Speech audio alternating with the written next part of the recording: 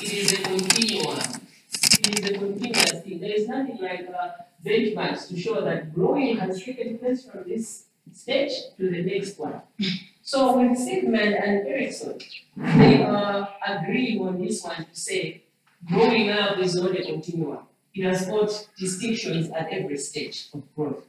So that's the first similarity.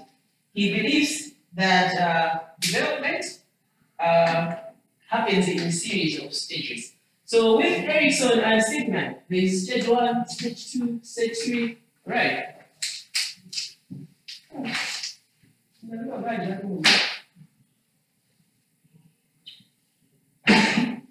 not going to go at the pace of go at my own pace. So that's the first similarity. The first difference that I, I want to bring out is that um, unlike Sigmund's um, theory of psychosexual stages, Erikson theory describes the impact of social experience across the whole lifespan. So you can see this psychosocial. It is uh, zeroing in at the impact of social experience across the lifespan. What did I say? You said No, no, no, this one. She's looking at me like this, but I know. This psychosocial Yes. is uh, I'm just going the way they were doing all the media, but then it's under the lifespan. I know which lifestyle. Eh? I know which lifestyle. Were you here? Yes. Okay. I, I say, Erikson's theory describes the impact of social experiences across the whole lifespan. So whatever we are going to talk about, that's the basic, that's the foundation. How does, um, It's going to what? huh? describe the impact of social experiences? So whatever we are going to be talking about, in as far as this theory is concerned, we will talk about the social experiences versus growth. Mm. Yes. You don't have any. Huh? Pen. You know. I have a red one. Nice.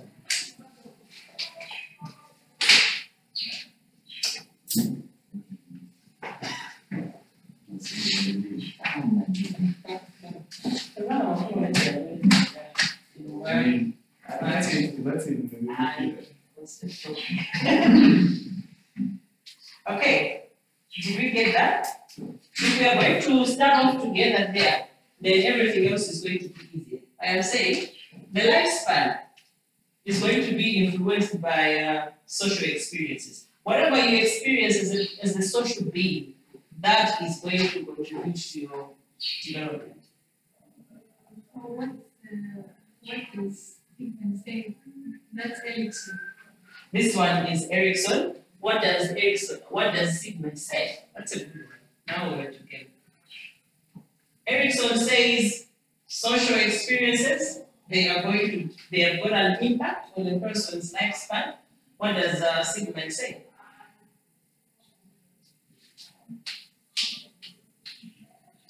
Okay, in Sigmund's case, Sigmund has got um, some stages that have been the psychosexual stages.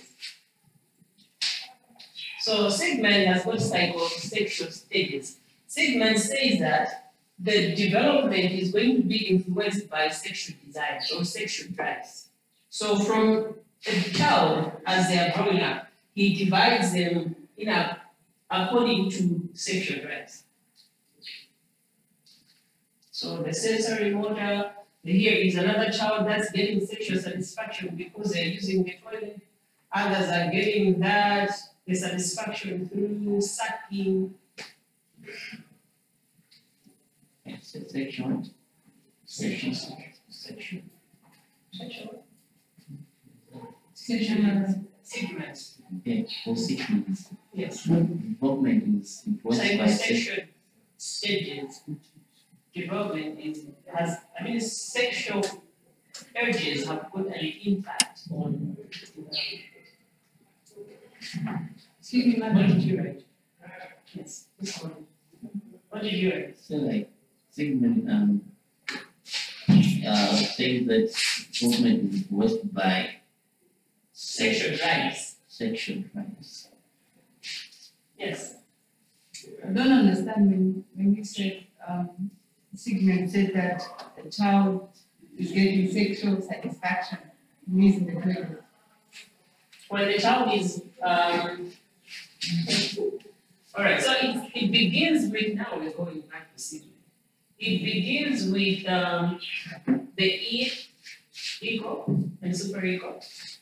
To say that every person, when they are born, they are full of what? When a child is born, is full of what? The ego.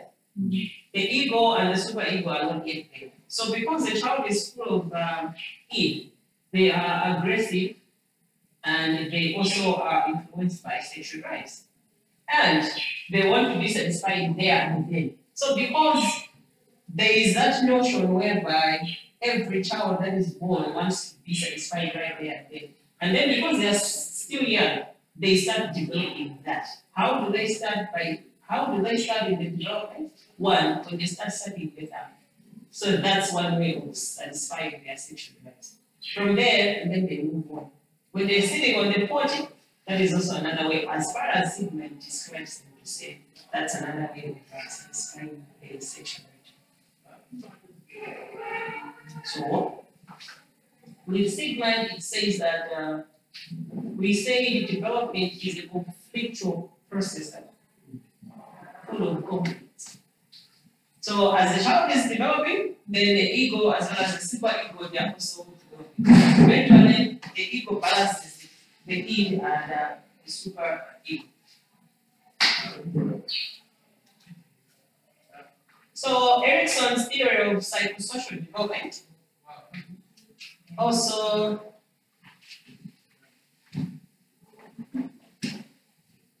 has got one of uh, one of the main elements of this theory is that uh, development of ego identity. So you can see here we are agreeing.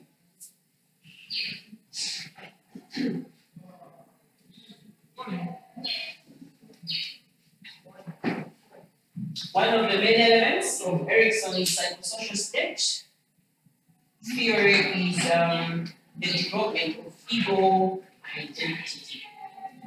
So Erikson also believes or agrees to say a person be, uh, develops ego.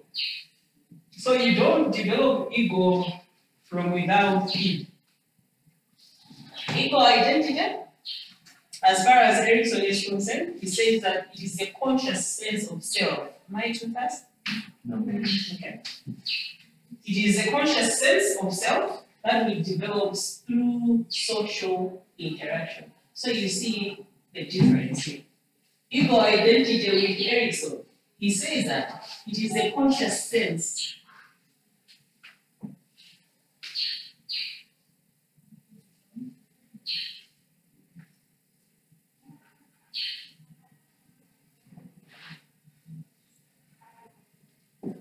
When you begin to be conscious in a group, I can't do this because.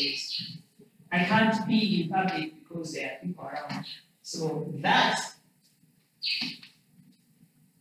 comes about because of social interaction. Ego,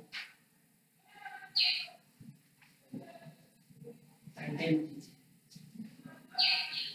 So a person is going to develop the ego through social interaction when they now become conscious, a sense of uh, self, when it starts developing, then you become conscious. Then that way, you are building up your ego. This is who I am. You start identifying yourself. Uh, look at this. Erikson says that um, our ego identity is constantly changing due to new experiences and information that a person comes across. Is it how what can you say about that?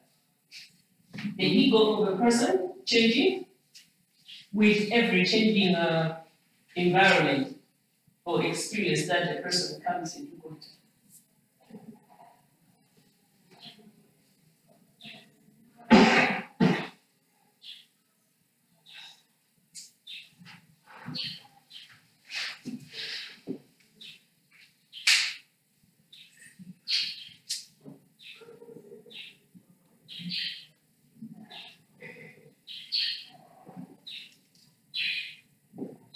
Due to new experiences and information we acquire.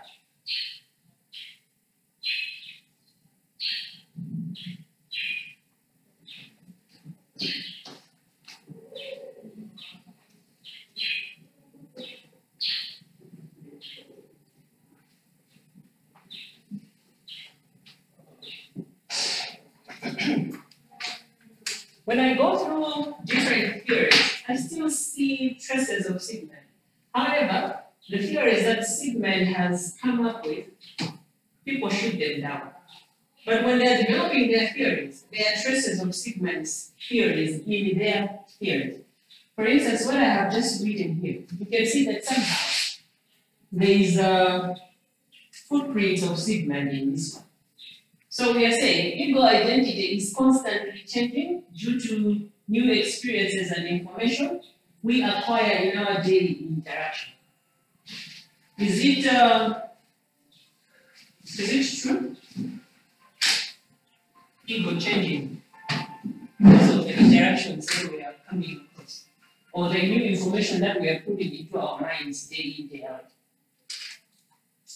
Yeah, It's true. Can you give an example? Rachel, how does it feel? You're just taking it as Bible truth? Or you have done some studying before? No? So from where we have studied, is it making sense?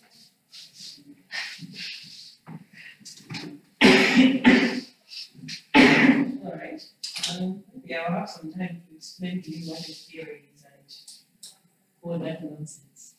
Yeah, I think, You can tell. All right, then can you give us an example? How does ego change with every new information that comes in into play in our lives? Information or new experiences. We might learn something from others, and then from there, we might realize that whatever, we do in the past might be wrong, so we start doing we Something else different. New experiences, new information, resulting to a change of who we are or how we behave. So you may be in a in a new environment altogether, people with different culture and all that. You're supposed to drop what you believe in and then you pick up what is acceptable in that particular place. So you're moving from one culture to another. You're supposed to drop what you believe and then you start living the new life. If this is going to be your whole life for the rest of your life, it means this is who you are going to be. If you happen to move again to another place, you're supposed to, with new information as well as new experiences, then you start growing up. This is growing up, right? You're growing up, you've reached a point where you're still able to weigh and find a better place between the id as well as the super ego. And then you find your place within the three realms. That's why I'm saying somehow they are still inclining or leaning on uh, Sigmund Freud's theory. And uh, in addition to that, to ego identity, Erikson also believed that a sense of competence also motivates behaviors and actions. This is very true. A sense of competence motivates behaviors and actions.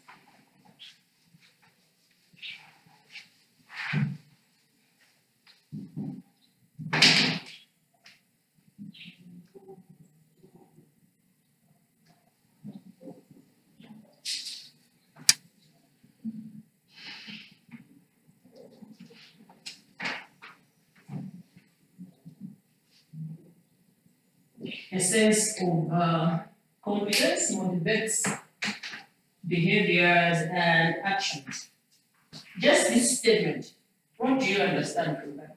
Because I'm going to give you these presentations, but when you read them, you should be able to understand what it is about. A sense of confidence motivates behaviors and actions. What does that mean?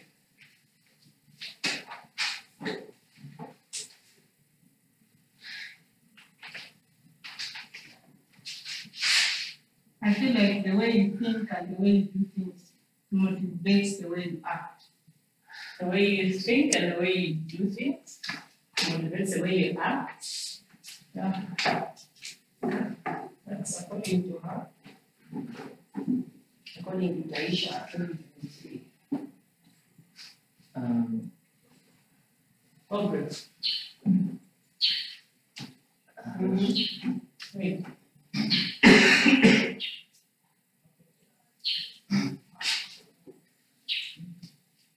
You what we, what we are talking about? Alright. You tell us. A sense of confidence motivates behaviors and actions.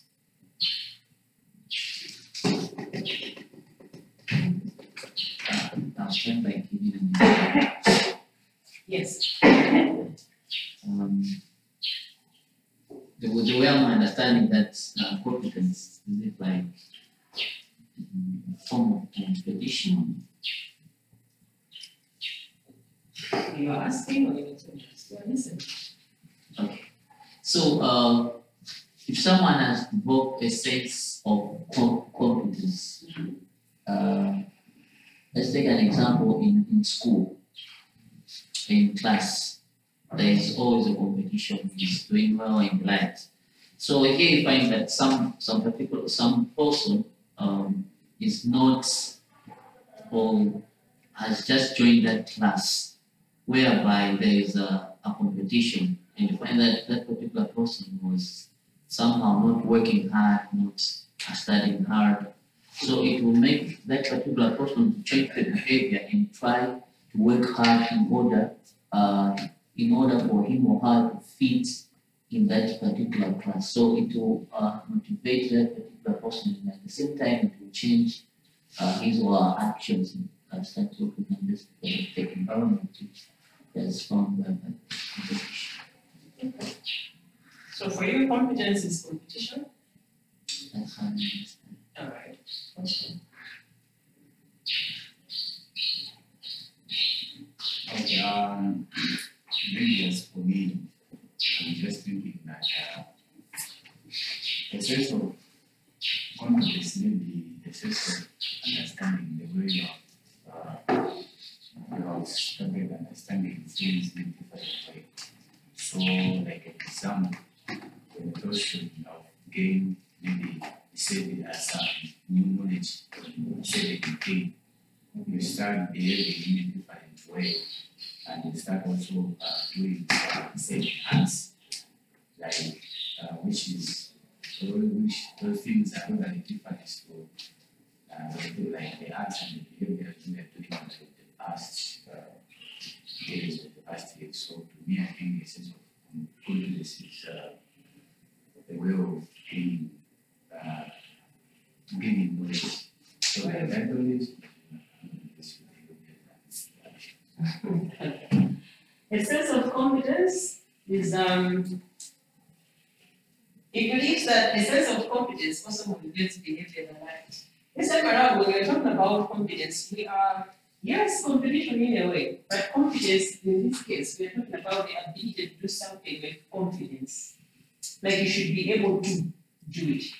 So a sense of competence. Now you've got a drive within you to say, I really need to be good at, say, football. I really need to be good at maths. I really need to be good at psychology. That sense of competence, that sense of that drive is going to motivate you into certain behaviors well as actions. I want to be known that I am one of the students at the university. Your actions and behaviors are also going to change.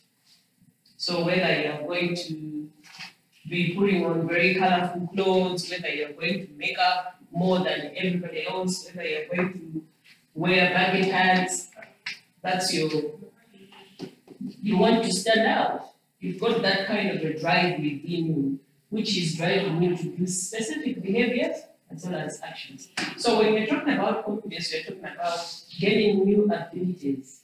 That drive that is going to help you to be on top of the game, right? So, uh, Erikson says that uh, each stage is concerned with becoming competent in an area of life. So at every stage, whether stage one, two, three, up to six or eight, every person yearns to be competent in an area of life.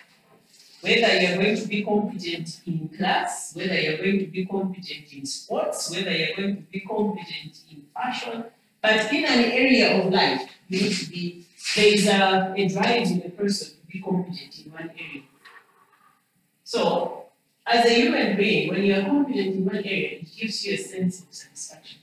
Without that, then something else happens. Um, so at this point, we are still trying to explain what psychosocial development is all about.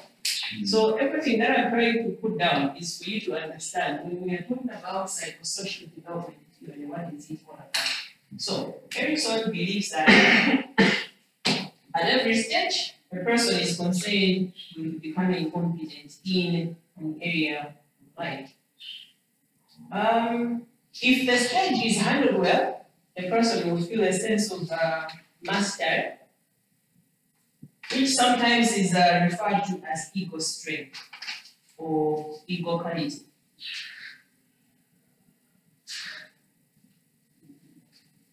Ego quality or ego, ego strength. So if I happen to ask you during an exam to say, briefly describe or briefly explain the following ego strength. This is when a person feels a sense of mastery. When a person feels a sense of mastery, where is this mastery coming from? When one becomes competent in an area of life at a stage. If I'm going to say that sentence, and it's going to be different. So get what you have understood. What is uh, ego quality or equal strength? This is when a person feels a sense of mastery. Where is this sense of mastery coming from? This one is coming from uh, um, when a person becomes competent in an area in a developmental stage. If you are lost, let me know.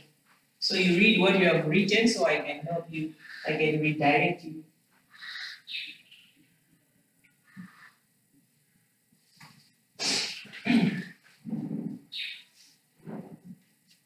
Second, person.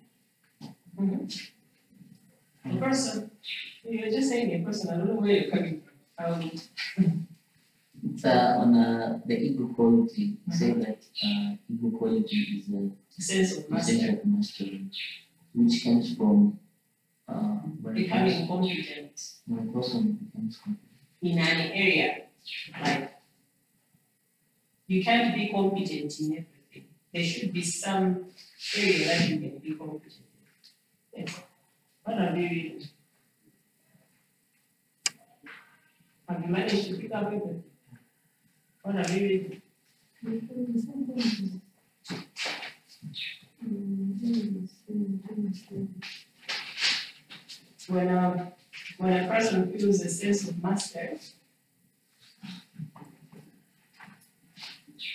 by becoming competent in an area of life. When a person feels a sense of mastery by becoming competent in an area of life. You can be competent in several areas, you can be competent in one area, but at least there should be some sense of uh, accomplishment in that area. So we are saying ego strength or ego quality is when a person feels a sense of mastery by becoming competent in an area of life. Please, when you're taking notes and you have missed something, say it out loud so we can. You should write notes that are coherent. So if a person manages a stage poorly, the person will emerge with a sense of inadequacy. Poor management in a stage within a stage is equal to a sense of inadequacy, inadequacy.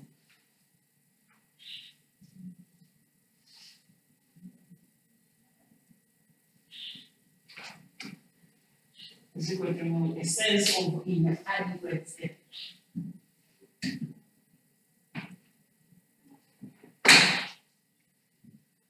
Alright, so he also believes that at every stage, a person experiences conflict that serves as a turning point in development. At every stage, there is a conflict.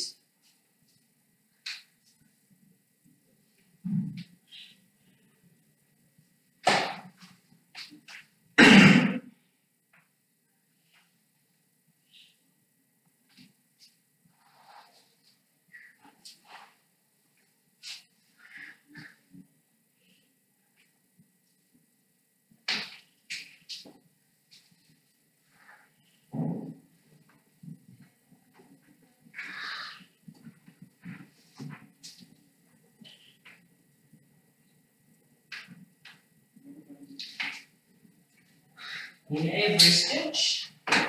Erikson believes that people experience conflict, and the conflict is going to serve uh, as, going to serve as a turning point in development.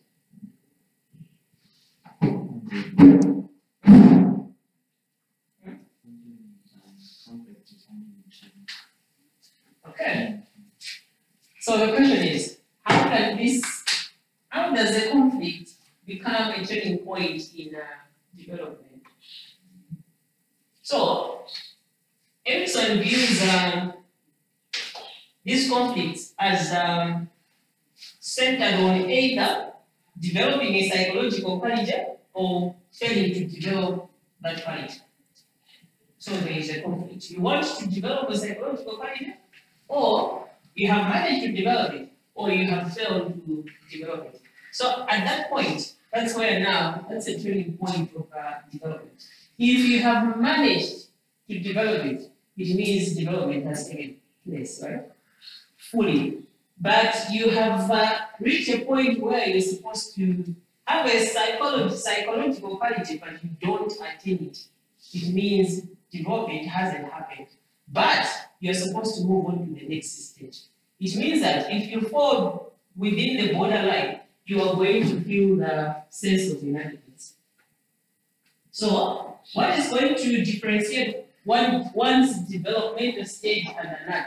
It is a sense of achievement. If you are going to be able to achieve psychological quality, then you have graduated properly into the next developmental stage. However, that does not keep you from going to the next stage. You will still go on to the next stage, but you've got poor results on the last developmental stage. So that conflict is that which is going to bring about the turning point in development. If you're going to develop well as you graduate into the next, it also means that the next one has got a proper foundation where you're going to start building on. So here is um, here is a person whose rest is like this. Developmental stages. One, two, three, four, five. You move from developmental stage number one to two, and your results are there.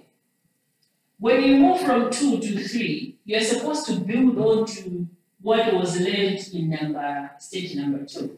But when you are experiencing stage number two, you have also failed, you're going to stage number three. How do you suppose your development is going to be like in stage number three? It is not going to be of good psychological quality, right?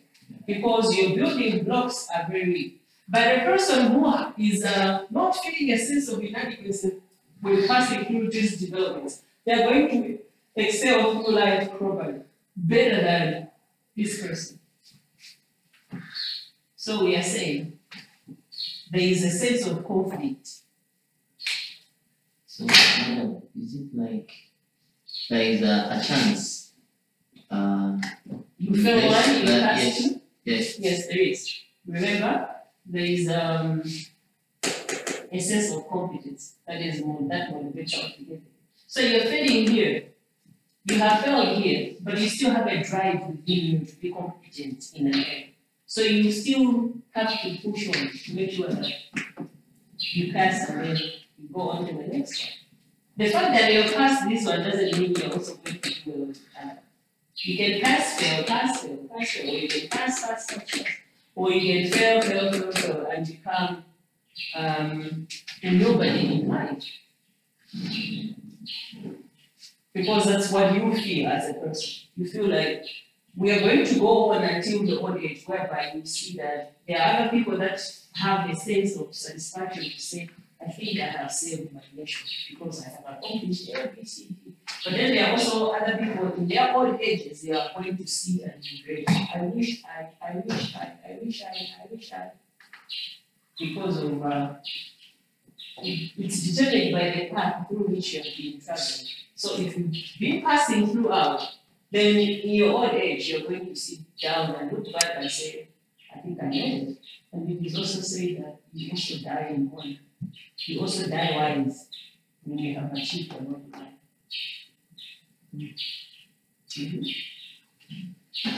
So during your period, make sure you do whatever you're supposed to do, everything else that uh, you guys are adolescents. Right? Whatever an adolescent is supposed to do, make sure you do it and you do it to the fullest, the climax. no? Boston says no.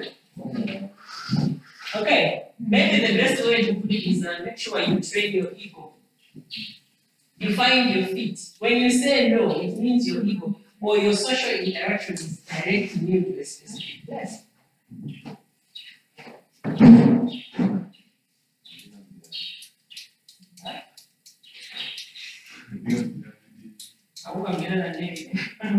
Yeah. Can I go. So we are saying these conflicts are centered on either developing a psychological quality or failing to develop that quality. So if you're failing, when you want to attain it, there is a conflict. So during these times, the potential for personal growth is high, but so is potential for failure at this point, the point of conflict, where you want to develop a psychological quality. So it's either you will be able to develop it or you won't. So at this point, where now you want to develop that, we are saying there is a potential for personal growth, but there is also a potential for personal failure. After the conflict, there has to be a resolution. eh? Okay, so the resolution can either be you have or you have failed. This is now where personality develops.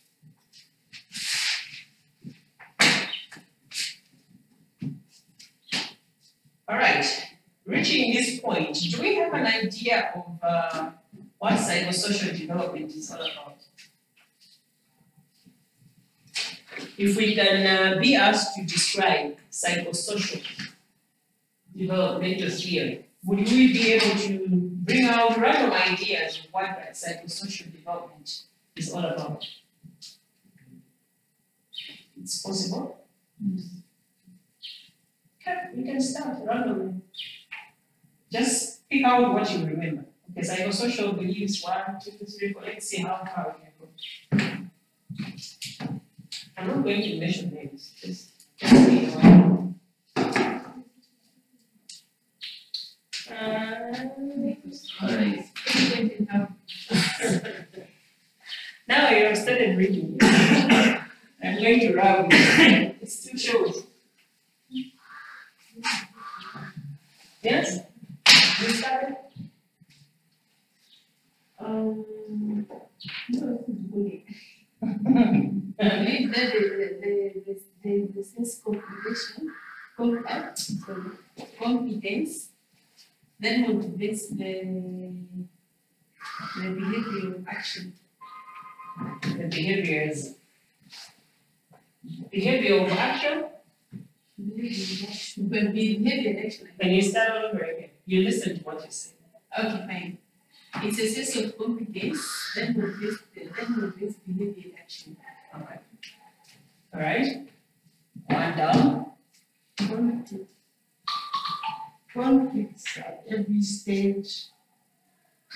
At the point which you know that development has has uh, okay, let me just start again. Conflicts that develop at a stage whereby you know that development has been sort conflicts at every stage where development is shown, whether there is development or there is no development. The, there's a high um, chances of developing or not developing after the uh, conflict. There's the potential of developing or not developing after a conflict, yeah. Ego strength, Ego strength, which is what? sense of of mastery. Sense of mastery. Rachel, where does the sense of mastery come from? um, comes from A person develops a sense of The person develops a sense of uh, confidence. Okay, so we can move on. Let's now start with our first psychosocial stage, which is known as trust versus mistrust.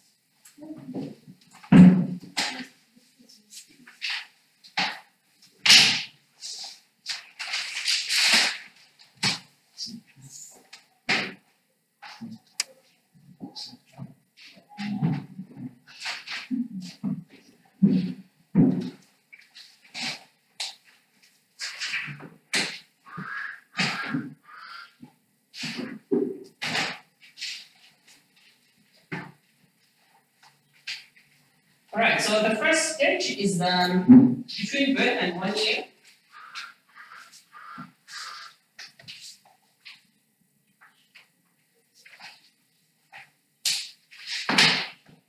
This one is the most fundamental stage in um, life.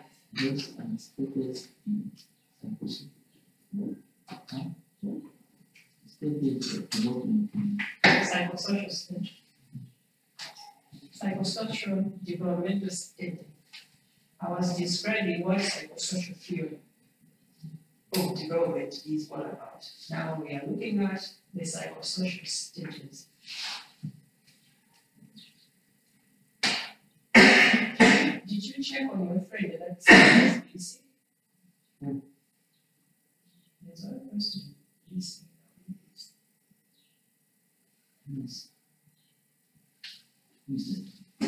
She's back, but there's still someone that's, you recorded her sick last time. Yes, she is good. I know she's good, she's here, but there's one person that's missing. Who is that? Yes. Is she he or he? She. Okay. Ah, She's okay. she came, she attended uh, She had deals in town.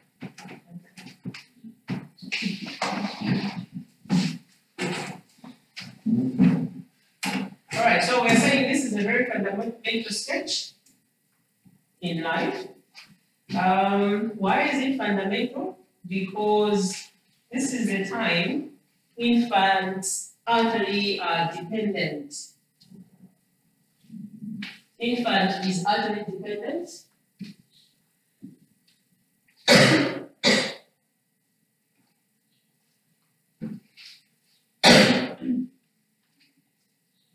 The trust or the development of trust is uh, based on the dependability and uh, quality of the child's caregiving. The development of trust. The development of trust, Mm. yes. It is based on the dependability and quality of the child's caregiving.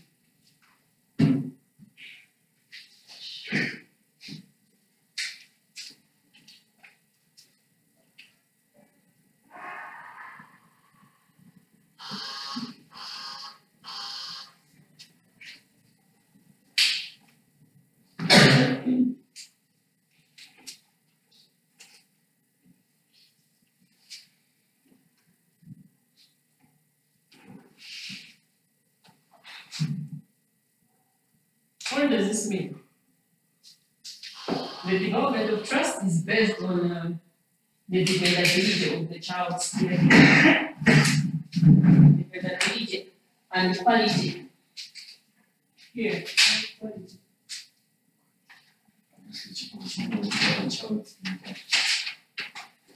Caregiver. Yeah, caregiver or child caregiver.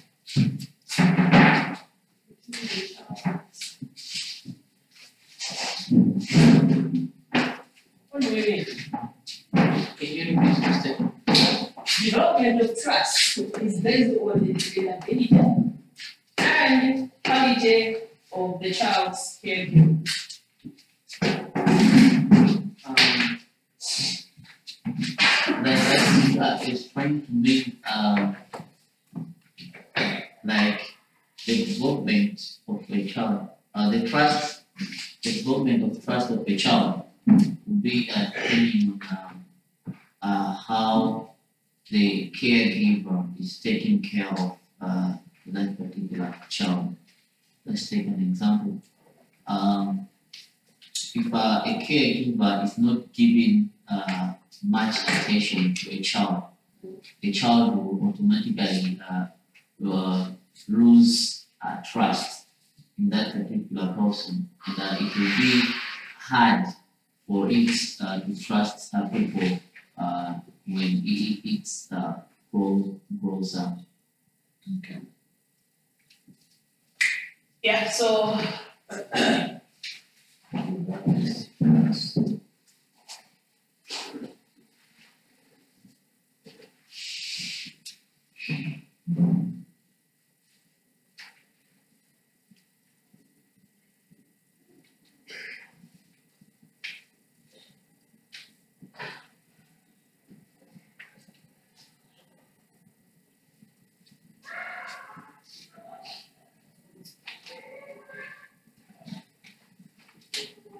I've got another example. Go. I don't know if it's relevant. but I'll just mention. When you say that, I'm No, but I'll just say on. Uh, another example is that uh, there are some kids uh, when they are born, uh, their parents uh, die after they, they have been born. So they're being taken out by the caregivers. So when they are growing up, they get a sense of asking about uh, their parents, where are their real mothers in their lives. So uh, once the caregiver just say like, no, uh, your mother went somewhere or is in heaven will come back. Uh, so that particular child uh, developed that sense of trust that uh, his mother will come back. But as the years are going and the mother is not coming back, then that, particular child has lost trust and uh, it's hard for it to um, gain that trust again. Madam, Sasa wale.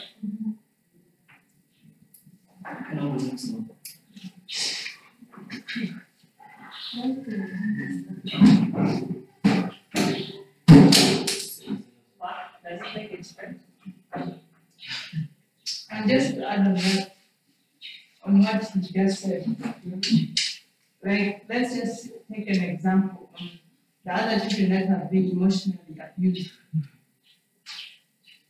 Yes. or physically abused. It takes them time to like, like they can't tell everyone the things like the, the abuse that they have been given. But if the caregiver is being patient and kind, and makes the child trust, the, the it influence the child to trust the person until the caregiver of the experiences he or she might have had. Okay. So the idea is uh, helping the kid or helping the child develop a sense of trust. trust in the children. Failure to trust the development, what happens?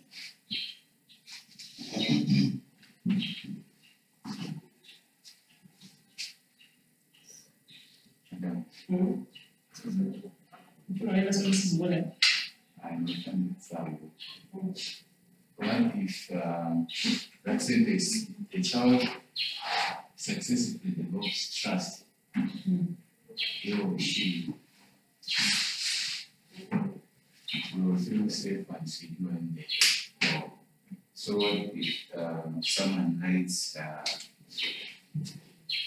when a child uh, develops when a child develops trust, he is free in the world. Hmm? I will ask you, What the law about was- he is free in the world, since you say he is free, safe and secure.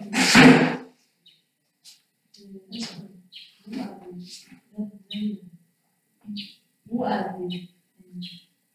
I can see it. After who are? You are are inconsistent. inconsistent. Okay, who feel safe and secure in the world. Caregivers who are inconsistent, emotional, and available contribute to, here it has to be a comment.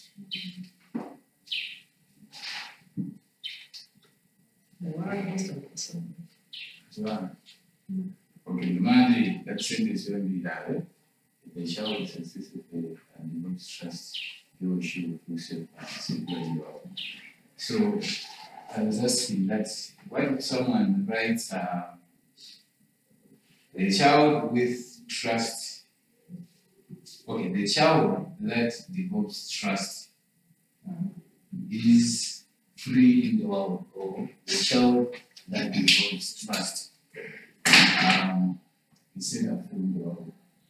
He's free in the what? Yeah. Free in the sense of what? Since you said uh, feel safe and secure, so What, what kind of freedom are you talking? free from everything. It is possible. It is possible, but you can also see it's dangerous. Because when when you're saying that someone is it uh, means that uh, the, per- the, the person is safe and secure. So an example that uh, you know that uh, maybe uh, uh, a good example from uh, maybe two different places. So whereby someone who is staying in a certain locality whereby uh, in terms of uh, security wise, that area maybe is not safe. So the person is saying that now I'm free since I moved from that location to another location. So now I'm free. Meaning the person is feeling safe and at the same time is feeling secure. An example, uh, like the person uh, who was staying in Tanzania for some years. Yes. Then maybe after some material developments, then these people are removed from the neighborhood these uh, uh, these uh, neighborhood Other places. yeah, yeah, so that maybe they will feel safe and secure and that. So I was asking because when you meet them, they say now I'm because But I say now I'm free. in terms of security uh, they feel safe. So I don't know So I'm reckoning um, if someone can write that the child who develops trust it's free. is free world. It is somehow true, but you need to qualify. What kind of freedom are you talking about? It is true. They are free. They are set, they are free to express their mind. They are free to do things. It's possible, but you just have to clarify what kind of freedom are you talking about. So it's, it's, it's okay. So we're talking about, uh, from birth to one year, right? Remember? We're talking about characteristics of the development from birth to one year, so we are saying the quality of, uh, or the development of trust is going to depend on, uh, the dependability of the caregivers. Are they dependable? Is the child assured to say, I am, uh, I am safe? Can they trust them? There are times when we we lie to kids. They are young ones, yes. You may think because you're big you can get away with a lot of things, but as you're doing that, you are also developing something in them. So in this at this point, if you're lying to kids, you're promising them something and then you don't give them. They are picking to say, this world is not safe. You are told to, you're going to have A, but the A is never going to come to you. Instead, you're going to have something else. Here is a mother who is telling the child to say, eat, I'm going to give you a sweet. So the child is busy eating because she's anticipating to get a sweet by the end of the eating. So she finishes and there's no sweet coming. Okay, maybe today. Tomorrow, the same thing happens, and again and again. What is happening? The child is now starting to develop that mistrust, whereby we say, where there is no trust, there is a fear. The child becomes afraid. She is afraid because she thinks that the world is inconsistent. Today, you give her the soup when she finishes. Tomorrow, you don't give her. For the mother, she feels like she's uh, getting ground because she's making the child to eat. I'm going to tell her I'll give her a sweet, but I want to give her. Tomorrow I'll tell her I'll give her a sweet, but I'll give her. The next day, it's inconsistent. Today one thing, next day the other thing. What is happening? You're building mistrust in the little child. So when the caregiver is consistent and emotionally available, it means the child is also going to develop trust properly.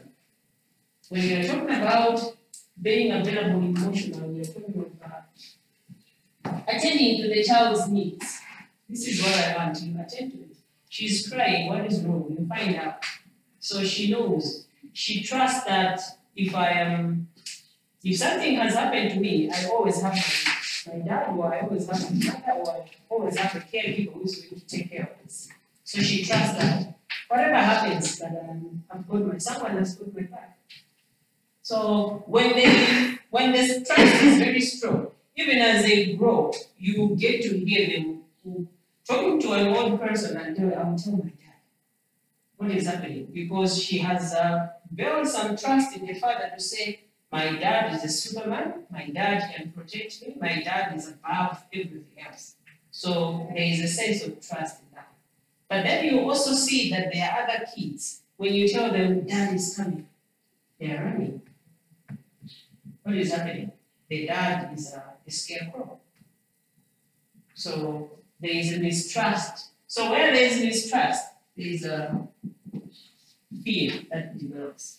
So psychosocial stage one, trust versus mistrust. So at age one, I mean zero from birth to one year old, there is that building that takes place. Then the second stage, which is uh, autonomy versus shame, shame and doubt. Autonomy versus shame and doubt.